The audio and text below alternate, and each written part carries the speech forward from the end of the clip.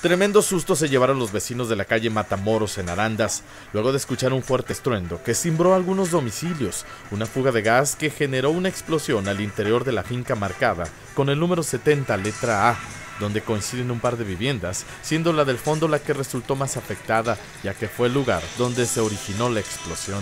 ¿Ustedes estaban aquí dentro de la casa? Sí, ¿Se escuchó fuerte el sonido? sí. ¿Y salieron y qué hicieron? Salimos No, aquí estaba el tirado, ¿a cuál salí ya? Asustados, ¿no? Sí, cómo no. Ya me tiemblas a la panza. Sí, No, claro. Te tiembla así la panza ahora a mí. ¿Se alcanzó a cernir la casa también de ustedes? Sí, Sí, la bóveda de este lado también, las láminas, todo se cayó así para la escalera y todo. De hecho, ahí ¿Cuántas personas había ahí en la casa? del- Tres, en el momento había tres. En la vivienda se encontraban una mujer adulta en estado de embarazo y sus dos hijos menores de edad, la señora Gabriela Rodríguez y los menores Citlali Guadalupe Torres y Jonathan Alejandro Torres. La madre fue quien resultó mayormente afectada, ya que según los primeros reportes presentaba quemaduras en su cara de primero y segundo grado, por lo que fue trasladada por una unidad de emergencia a un hospital de la ciudad.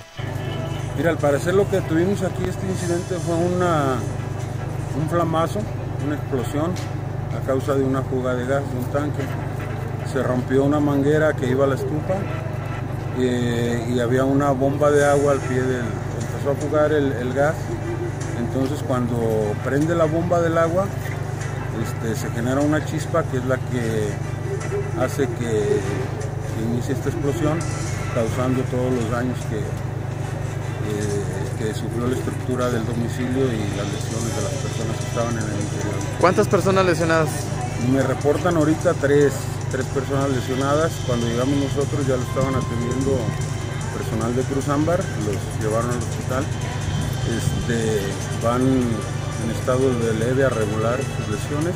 La vivienda sufrió muchos daños estructurales en, en lo que es este, parte de la cocina, la escalera y unas habitaciones de arriba, entonces yo creo que no se va a poder habitar por el momento. El siniestro generó la preocupación de varios habitantes de la zona, por lo que salieron de sus casas para tratar de saber qué era lo que había ocurrido y el porqué del estruendo que se había escuchado en la calle.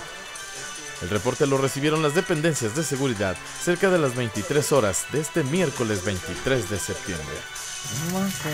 Mira. Ahí está. Hacia la barra. Está vencida la barra. No, lo que queda.